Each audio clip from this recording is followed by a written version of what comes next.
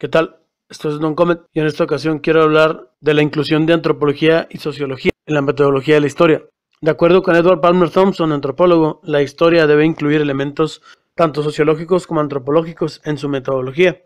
Una diferencia señalada por Thompson es que la historia no intenta establecer modelos sobre los cuales guiar la investigación, a diferencia de la antropología. Así, los estudios sobre alguna comunidad deben hacerse con sumo cuidado y desde diversos ángulos, evitando mezclar teorías antropológicas incompatibles. Por tal motivo, destaca una tendencia practicada en Gran Bretaña durante el siglo XVIII, el folclorismo.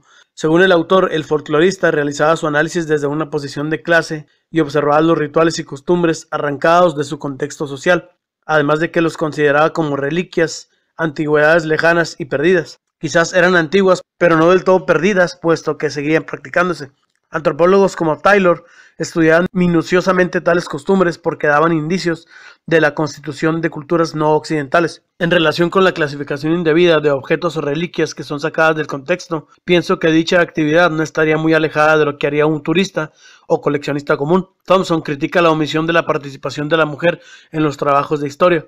Aparta las acciones humanas conforme a una orientación dual, el llegar a ser y el ser. En el llegar a ser está la trascendencia de las sociedades en ámbitos como la economía y la política, porque debiera incluir la participación de ambos géneros.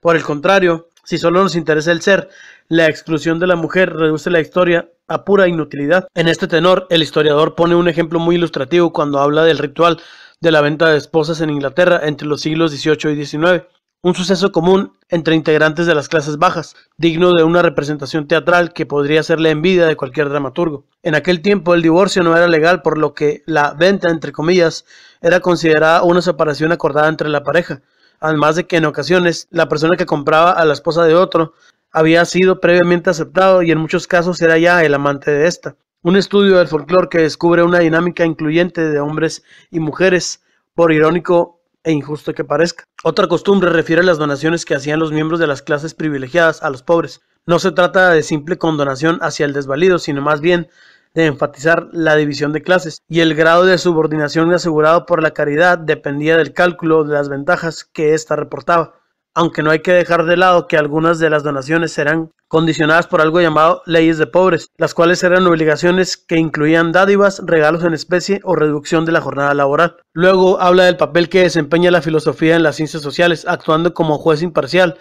mediando entre ellas para que se comprendan mutuamente. De esta manera, Thompson señala que surge una nueva ambivalencia dialéctica. El acto de donar debe ser visto simultáneamente como el acto de recibir. La razón de tal afirmación es el marxismo del autor, él considera que los modos de producción no pueden ser vistos por el lado económico únicamente, sino que hay que incluir normas, cultura y la crítica alrededor del modo de producción. Ya no es posible circunscribir así, hay que incluir todo lo que envuelve a un concepto, decía Michel Foucault. Las principales diferencias entre antropología e historia son que la antropología hace un estudio sincrónico de los casos y trabaja con el espacio, preferentemente con sociedades alejadas y tomando como referencia o fuente la oralidad. En cambio, la historia es un estudio diacrónico en el tiempo, es decir, que va y viene del presente al pasado. Su principal elemento es el tiempo, trabaja con sociedades próximas o cercanas, y su fuente principal son los trabajos escritos o archivos. Por último, refiero a que Thompson habla de lo que considera una sociedad perfecta, que tendría una base industrial fuerte y debido a ello la superestructura cultural aparecería sola. Pero, ¿qué hay de la complejidad del ser humano? Para ello, fundamenta su crítica indicando los aspectos religiosos que han frenado el desarrollo en algunos países europeos que definen la dinámica social en términos económicos. Aparte, hay que tener en cuenta las condiciones de cada época es importante tener presente que las expectativas y motivaciones de la gente que vivió por entonces no se pueden entender usando categorías económicas anacrónicas. Los cambios son necesarios, pero también son paulatinos. Es un detalle no previsto por ideólogos marxistas contemporáneos. Thompson dice algo muy cierto, de manera textual. No se puede estar protestando todo el tiempo. Para seguir viviendo es necesario asumir y adaptarse al statu quo. La información fue tomada del libro de Edward Palmer Thompson llamado Historia Social y Antropología, publicada por el Instituto Mora en México en el año 1994. Muchas gracias y hasta pronto.